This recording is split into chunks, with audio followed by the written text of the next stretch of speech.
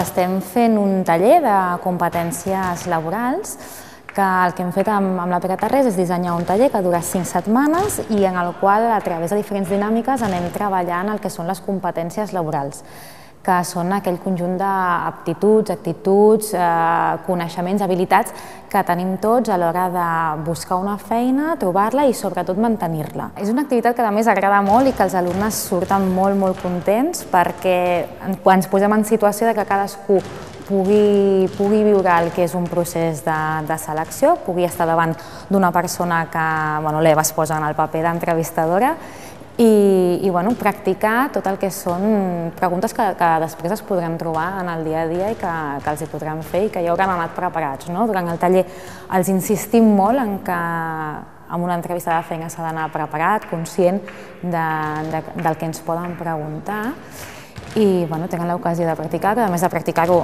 amb, amb tots els companys que et poden donar un feedback, sempre sense jutjar, no? un, un feedback que et pugui ajudar a, a millorar.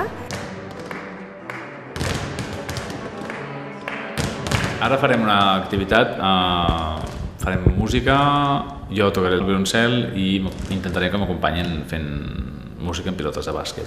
L'objectiu de, del que farem ara és la, eh, la cooperació, treball en grup i la, la mirada dels altres. Sí? Ajudar els companys a, a, que, a que entre tots puguem fer una sola cosa, sí? més que a títol individual jo ho faig molt bé i no tinc res a, no tinc res a millorar, no, no, si, si el grup no està bé hi ha molt a millorar. No?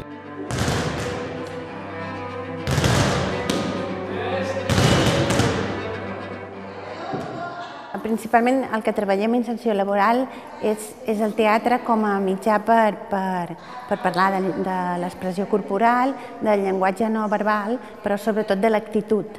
L'actitud com a base de tot. En aquest cas és l'actitud com, com a base per anar a una entrevista de feina, evidentment després serà per, per conservar la feina i en realitat mm, és una actitud vital. Llavors els explico que jo creo els meus personatges basant en l'actitud.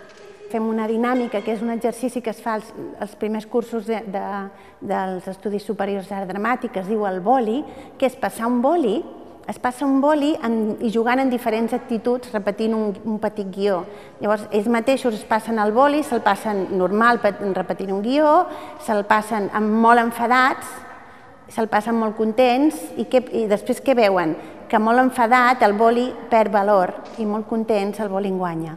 Llavors el boli representa el seu currículum i el seu currículum el representa amb ell. I és una qüestió d'actitud i que és igual si tens dues frases al currículum o si tens deu màsters allò tindrà valor o no a una entrevista o farà que el, que el teu currículum sobresurti de, de, de, la, de la muntanya de currículums segons la teva actitud. Cadascú té un rol, físicament l'han de representar, llavors li explico que al teatre, eh, abans de sortir, estem a les fosques amb les cametes negres preparats així i estem ultraconcentrats. I abans d'una entrevista, abans d'obrir la porta de l'entrevista, han d'estar així, com jo estic al teatre. Fan el pas d'obrir la porta, de, de, pujar, de pujar un escenari i pensar un desig a nivell laboral. A veure com, en veu alta, transmeten aquell desig. Llavors, a partir del desig, treballem l'expressió corporal, com hem arribat caminant fins allà, perquè és molt, molt curiós i no ens n'adonem com, com ens expressem uh, corporalment, i després com demanem verbalment aquest desig.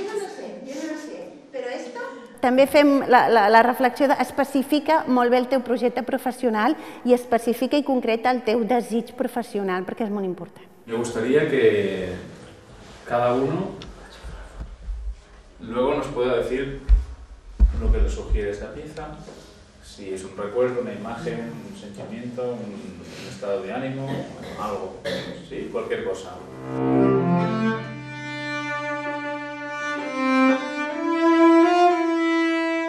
La primera peça que he tocat no és una peça ni descaradament alegre ni trista, està entremig de moltes coses i aquí sí que realment eh, amb algú se'n va cap a una banda, algú se'n va cap a l'altra i, i és, és maco veure, bueno, cadascú passa per on passa i, i realment no hi ha, no hi ha dues opinions iguals tot sovint.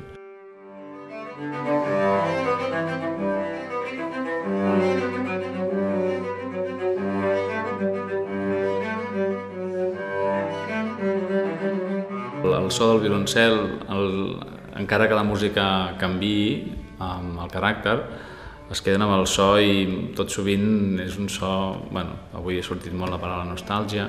Cada grup també funciona diferent, eh, segons la, les relacions entre ells, si són més tímids, més callats, avui no ens coneixíem i estaven una miqueta més receptius que no pas emissors. ¿no? Eh, qué buena música que te tranquiliza. Entonces la música me da así como a veces nostalgia, cosas que ya viví, que bueno, muy difícil que las vuelva a vivir, ¿no? Pero a la alegría de haberlas vivido.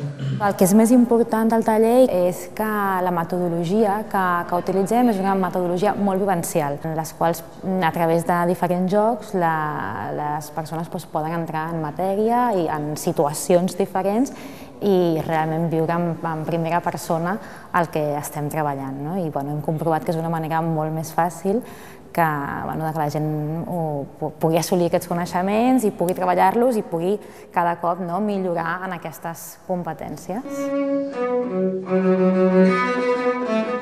-hmm.